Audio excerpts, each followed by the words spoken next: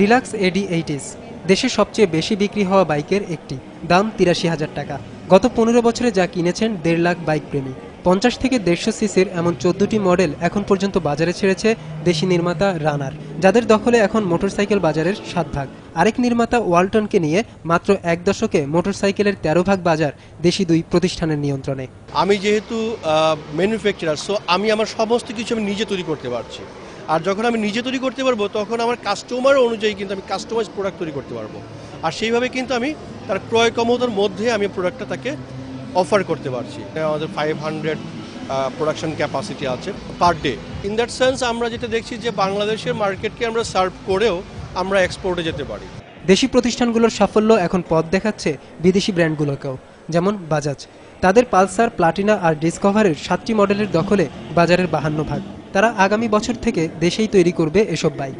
এমন পরিকল্পনা নিয়ে এগুচ্ছে জাপানের হাউজির বাইক সংযোজনকারী প্রতিষ্ঠান কর্ণফুলি কিংবা সুজুকির আমদানিকারক র্যাঙ্কসো পার্টসগুলো ভেঙে ভেঙে আসে।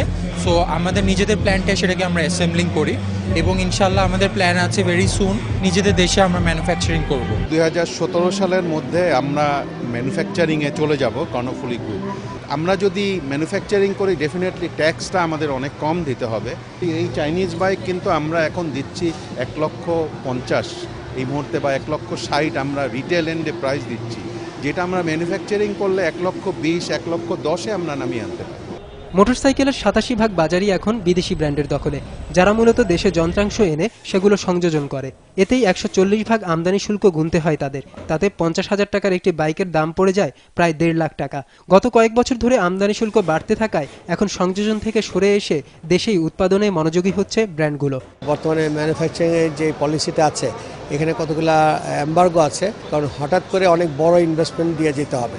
আমরা সরকারের কাছে প্রস্তাব দিয়েছি যে এটাকে পর্যায়ক্রমে ধাপে ধাপে ম্যানুফ্যাকচারিং যেতে দিতে হবে। প্রগ্রেসিভ ম্যানুফ্যাকচারিং পলিসি করা উচিত সো দ্যাট মানুষে যার যেরকম ক্ষমতা আছে সেইভাবে বিনিয়োগ করল এবং পর্যায়ক্রমে সে আরও অনেক বেশি প্রোডাক্ট তৈরি করতে পারবে। করলে অটোমেটিকলি দাম কমে আসবে মার্কেটটাও বড় হবে। প্রতিবেশী দেশ ভারতে প্রতি বারো জনে একজন মোটরসাইকেল চালান। পাকিস্তানে এই সংখ্যা সতেরো। কিন্তু বাংলাদেশে এখনও একশো জনে মোটরসাইকেলের মালিক মাত্র একজন, যা সামনের দিনে সম্ভাবনাময় এক বাজারের ইঙ্গিত নির্মাতাদের জন্য।